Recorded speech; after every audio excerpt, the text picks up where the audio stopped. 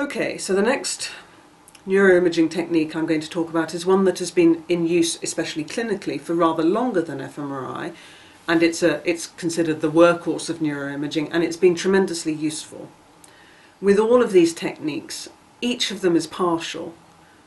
They give you some information, but not other information, so you need to use all three of them to get a more complete picture of how the brain works. The technique I'm going to talk about next is PET, positron emission tomography. And again, it owes a huge amount to physics. And it's useful because unlike fMRI, you can use it to study the brain's chemistry more effectively.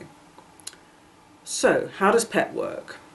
Well, PET relies on the fact that as well as using oxygen for fuel, neurons, brain cells, use the sugar glucose which is why you feel better when you've had a sweet drink or um, sugary bar. Okay, so how does this work? The neurons take the glucose into their cell bodies from the passing blood flow and they do two things to it. The first thing is a chemical reaction called phosphorylation. And what that does is it adds a chemical group, a molecule of phosphate onto the glucose. It sticks it on, if you like. And that changes the electrical balance of the glucose. Now, glucose in itself is electrically neutral. The charges of all the different atoms balance out. But phosphate is negative. So when you stick a phosphate group on a glucose molecule, it makes the whole thing negative. And what that does is it prevent, prevents the glucose from diffusing out of the cell the way it came in. So basically, it's, if you think of this as the cell's lunch, the lunch drifts into the cell and the cell wants to keep it there so it can eat it. So it sticks a phosphate group on it and that kind of bars it from leaving.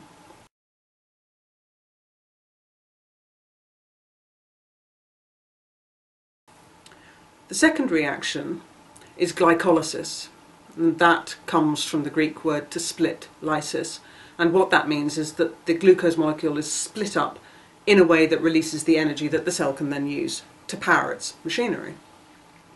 Now, glycolysis splits off a hydroxyl radical, the OH minus that I was talking about in the context of water. And it splits it off, and then the glucose is destroyed and recycled and all the rest of it.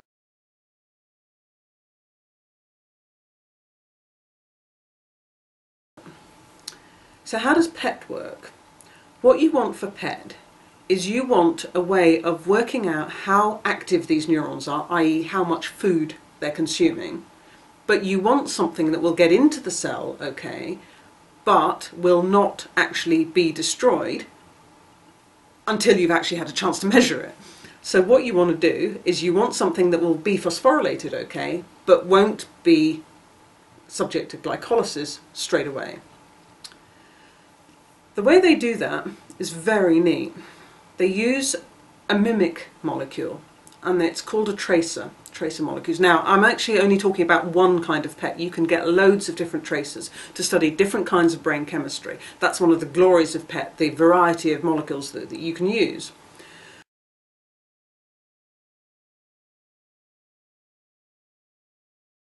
This molecule is called fluorodeoxyglucose, FDG, and it's very clever what happens is that you take a glucose molecule, you take off that hydroxyl, the one that's going to get split off by glycolysis, and instead you put on a fluorine atom.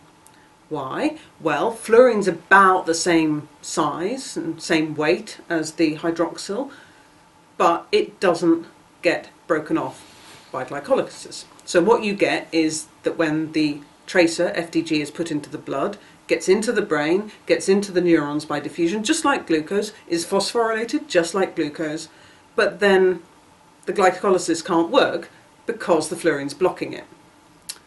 So you can then measure, because the fluorine is radioactive, it's a special kind of fluorine, you can then measure the radioactivity in the cell and that gives you some kind of measure of how much of this stuff is being taken in for food. But, and this is the really neat bit, because the fluorine is radioactive, after a while it undergoes radioactive decay. What does it decay into? Oxygen, a type of heavy oxygen, oxygen 18, but chemically it behaves just the way as it would if it were a normal oxygen, and that bond can then get broken by glycolysis, and so this kind of PET tidies up after itself. So once the radioactive decay has happened, you then get a perfectly normal glucose molecule or near enough as makes no difference to the cell and the cell can go and get its lunch as per normal. When the fluorine decays, this is the positron in positron emission tomography, it emits a positron. That positron leaves. Now, of course, when a positron meets an electron, you get a miniature Big Bang, you get annihilation and they convert into gamma rays. So what happens is that the positron is emitted, the fluorine decays into oxygen, the positron scoots off, it doesn't get far before it hits an electron because there are loads of them floating around, it annihilates and you get two gamma rays in opposite directions and that is what is actually measured in PET. So it's a really neat technique and a very clever way. And because these gamma rays are very high energy, they're usually quite accurate. Okay, there's a bit of slippage between the point where they're released and the point where they meet the electron, but there's not much in it. So although PET is rather a slow technique, it can't exactly measure the brain in real time, not nearly as well as fMRI can, but it's a very useful way of looking at brain chemistry. And as I said before, as well as FDG, there are loads of different other clever chemical tricks that you can use to look at what the brain is doing.